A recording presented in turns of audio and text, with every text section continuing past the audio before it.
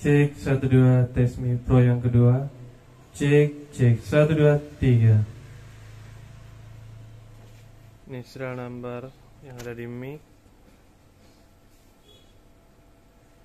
Satu dua tiga.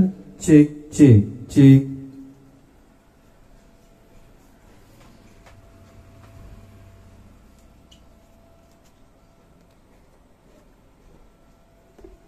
Ini serial number yang ada di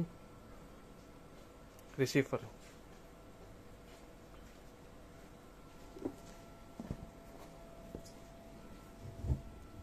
Satu dua tiga cek cek.